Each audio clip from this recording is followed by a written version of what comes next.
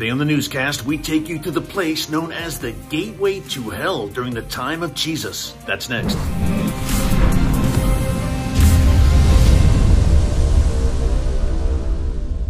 Hey folks, Erick Stakelbeck here. Welcome to the Watchman Newscast. You're probably asking, where on earth are you? That's not the Watchman studio. No, it's not.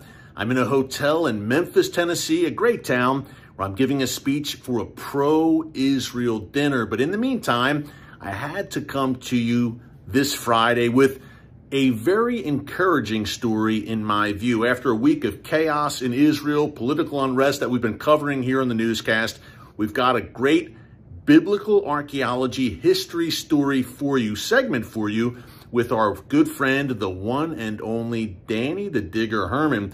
We're going to take you to Caesarea Philippi, a place that during the time of Jesus was known as the gateway to hell. We're going to show you the very place which people during that time thought was a gate to the underworld. And yet, that is where Jesus acknowledged yes to the disciples I am the Messiah. So we're going to take you there in a minute. Before I do, a quick reminder Passover is right around the corner. It starts next week, April 5th.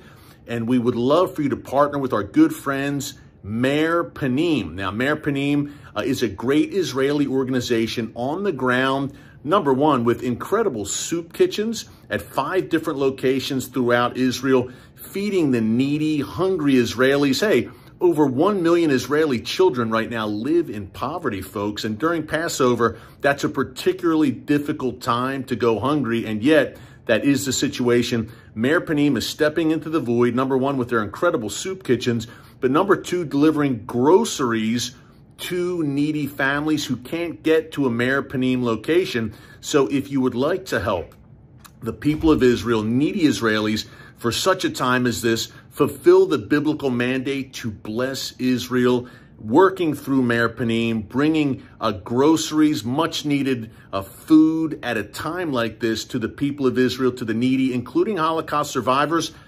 Just go to meirpanim.erickstakelbeck.com. I strongly encourage you to partner with this great organization, especially during Passover. Okay, let's go to Caesarea Philippi, the place once known as the gate to hell with our good friend Danny the Digger Herman and learn what Jesus did at this notorious pagan site.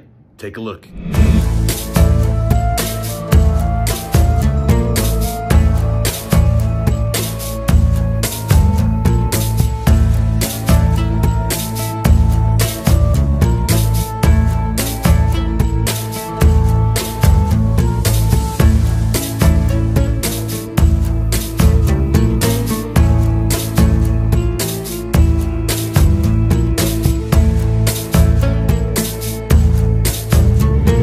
Danny, I was almost nervous to come to this place because of its name.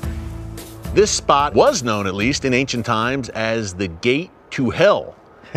a bit menacing of a label, but where are we? This is Caesarea Philippi, of course, and this has major significance uh, for followers of Jesus and much more. Tell us a bit about this site. The locals call it Banias, which is the Arabic derivation of Paneon, Originally, this site was founded in the Hellenistic period as a place to worship Pan, the god Pan, that dwells in forests, dwells in caves, and he attacks passengers, and so they get panicked. Seriously, the word panic comes from this. Wow. Okay? But around the time of Jesus, the name of the site was changed to Caesarea Philippi. Philippi, Philippos is the son of Herod. He inherits this part of his father's kingdom, and he wants to show the Caesar, the Caesarean family, just how loyal he is, so he changes it to Caesarea Philippi. Like Caesarea Maritima, this is Caesarea Philippi. So that's how it's named when Jesus comes here. Pan was worshipped here, the Greek god Danny. Also before that, Baal the infamous pagan deity was also worshipped here? Well, we only have a hint for that in the Old Testament. The book of Joshua tells us that at the foothill of the Hermon was a place for the worship of Baal Gad. We believe that it may refer to this site, but we don't have historical or archaeological proof. But it was definitely a place of pagan worship of Pan, and then through archaeology we realize of also other deities The excavations that were carried out right here next to the sacred cave, Erick, uncovered a lot of additional shrines. In fact, look over that niche. Beneath it, there's an inscription in Greek attesting to the worship in the second century, just shortly after the time of Jesus. Pagan worship was going on all along this uh, wall, but the heart was undoubtedly in front of that sacred cave. This sacred cave was mentioned Sacred of, to them. sacred to the pagans. Yeah. And Josephus also tells us that Herod created a temple to Augustus in front of it, whose remains might have been uncovered right here. But this site is soaking with paganism. How did it get the name the gate to hell? Okay, so this is the story as told in the Gospels of Jesus apparently questioning them. Who do you think I am? What do people say about me?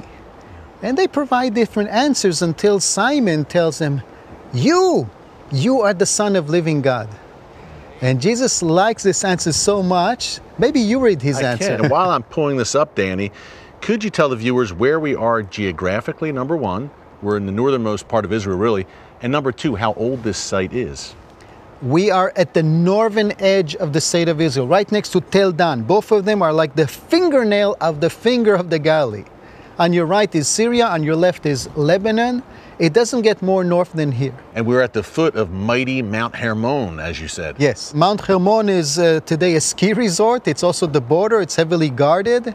And uh, the name Hermon, Haram in Arabic seems to indicate it also had a sense of sanctity and maybe an event called Brit Ben Habetarim, a sacred event relating to Abraham, took place on that mount. We did a show, you and I, Danny, from Mount Hermon a while back. I got a lot of feedback from viewers who said you never mentioned the Nephilim. The Nephilim came through Mount Hermon. That's another segment for another time, perhaps. Totally. Danny gave us incredible backdrop there, but if you want right now, grab your phone, grab your Bible, open up to the Gospel of Matthew, chapter 16, verses 13 to 19. You can follow along on the screen with the graphics there. Bear with me.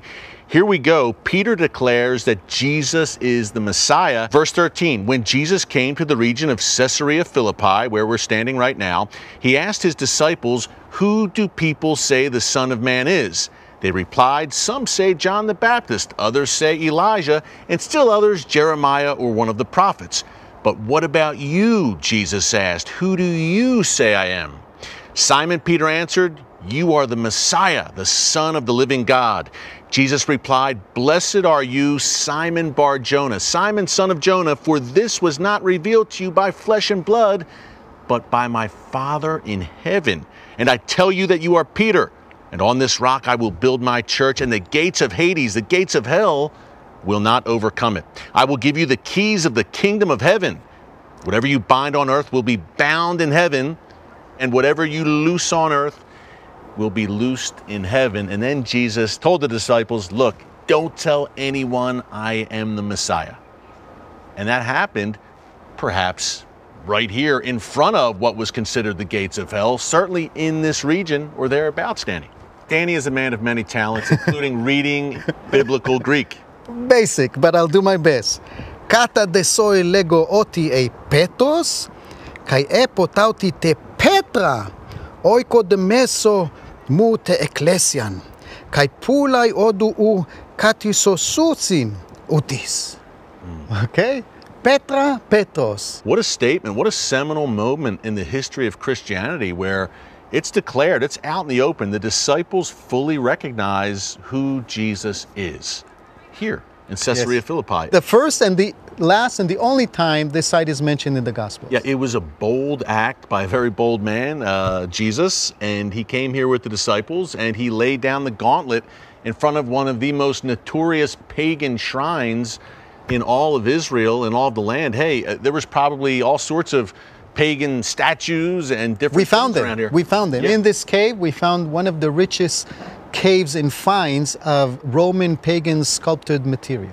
That's just like Jesus to come to the source and to declare, I am the Messiah, I'm the Son of God, this is who I am. And he certainly seemed to be directly challenging the pagan world.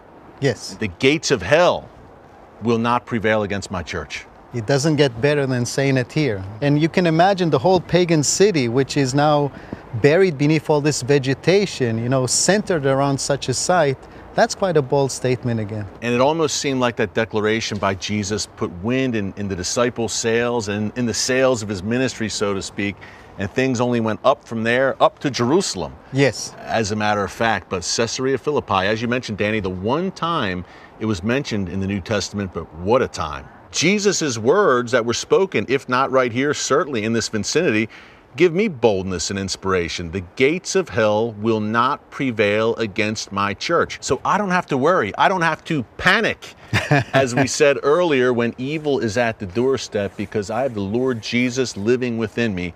So it's going to be all right and then some. Danny the Digger, this was more than all right coming here with you. It was another great, great segment. We're just scratching the surface. We've done so many together, and we've just scratched the surface of all there is to see here in the land of Israel, and there's no one better to do it with than Danny Thank Digger you. Herman. My, my pleasure, my honor, as you always. Folks, what a privilege to film at Caesarea Philippi with our good friend Danny the Digger Herman, an amazing place.